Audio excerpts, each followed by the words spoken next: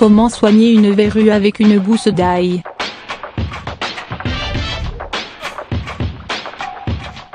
Comment soigner une verrue avec une gousse d'ail?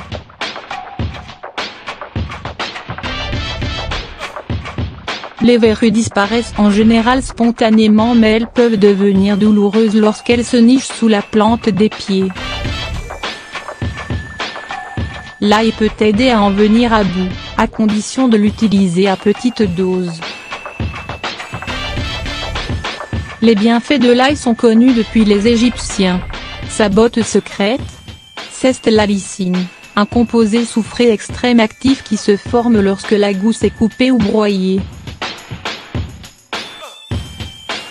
La lysine confère non seulement à l'ail son odeur si particulière mais aussi ses propriétés antivirales. Son action est avérée contre les papillomavirus, la famille de virus responsables des verrues.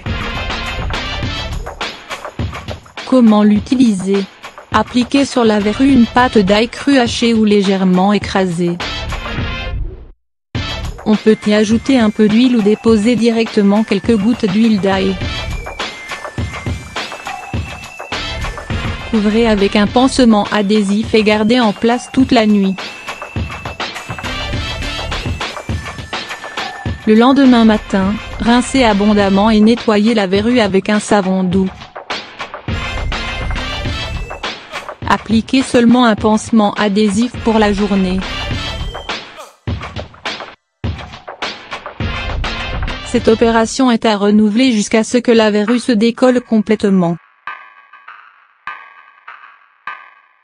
Les bons réflexes et le suc irritant de l'ail attaquent aussi la peau saine.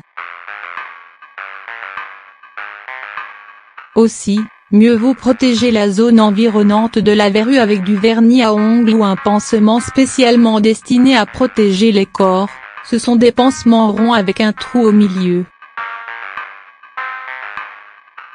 Ne pas enlever la verrue avec un objet coupant, sous peine de provoquer des lésions ou une infection qui devrait nécessiter alors des soins plus conséquents.